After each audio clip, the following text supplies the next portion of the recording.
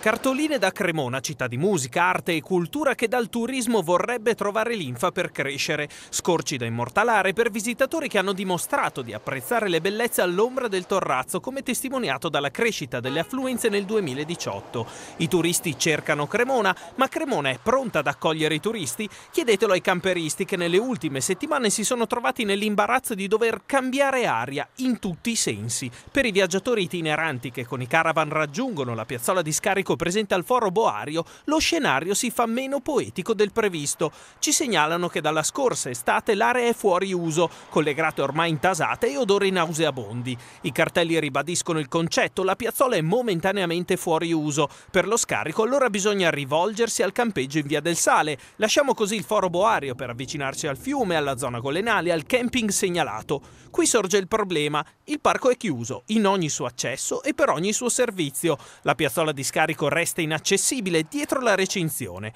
In giro per l'Italia le città ed i paesini anche più piccoli costruiscono aree sosta e zone per i camperisti che sono sempre più in aumento. A Cremona invece fanno il contrario. È questa la protesta di un camperista che per avere accesso alla piazzola sarà costretto ad aspettare fino a marzo.